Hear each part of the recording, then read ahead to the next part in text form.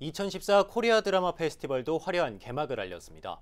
페스티벌의 하이라이트인 첫날 어워즈에는 김수현과 김재중 등 유명 스타들이 대거 참석했습니다. 네, 스타와 팬들이 만난 뜨거운 열기의 현장을 홍진우 기자가 다녀왔습니다. 레드카펫 위로 스타들이 하나둘씩 모습을 드러냅니다. 자신이 좋아하는 연예인이 나타나자 함성 소리가 크게 울려 퍼집니다. TV로만 봤던 스타들을 직접 보니 손짓 하나하나에 팬들은 기쁨을 감추지 못합니다. 올해는 진주 실내체육관에서 다시 경남 문화예술회관으로 자리를 옮겨 어워즈가 개최됐습니다.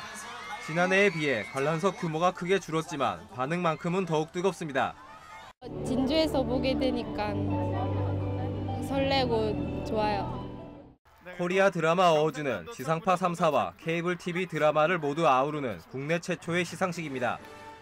앞서 6번의 어워즈를 통해 시크릿 가든, 내 딸 서영이 등의 작품이 상을 받았고 장혁, 김남주, 이보영 등 쟁쟁한 스타들이 드라마 어워즈를 위해 진주를 찾았습니다.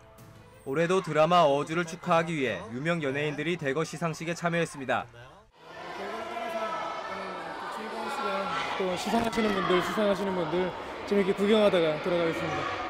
진주에 오니까 정말 어, 많은 분들이 이렇게 반겨주셔서 아이고 반갑습니다. 아이고 제가 열심히 한번 웃겨보겠습니다.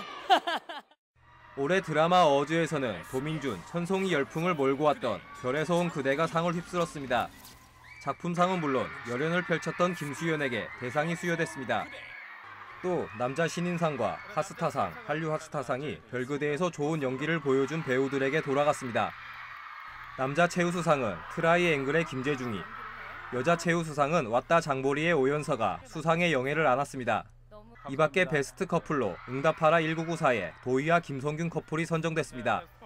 추운 겨울 너무 너무 너무 너무 고생해 주신 우리 모든 스태프분들께 진심으로 감사드립니다. 어, 예, 저를 항상 믿고 현장에서 저를 봐주시는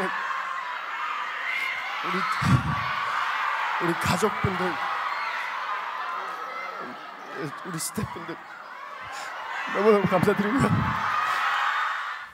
올해 드라마 어워즈도 성대의 막을 내린 가운데 2일 저녁에는 한류 K-팝 콘서트가 12일 저녁에는 OST 콘서트가 축제의 흥을 돋을 예정입니다. 장대동 난강 둔치에 마련된 부대 행사장에서는 축제 마지막 날인 12일까지 다양한 프린지 공연과 함께 드라마 속 장면 체험 등을 즐길 수 있습니다. 드라마 어워즈를 시작으로 공식 개막한 코리아 드라마 페스티벌 그 열기가 점점 뜨거워지고 있습니다. SCS 홍진우입니다.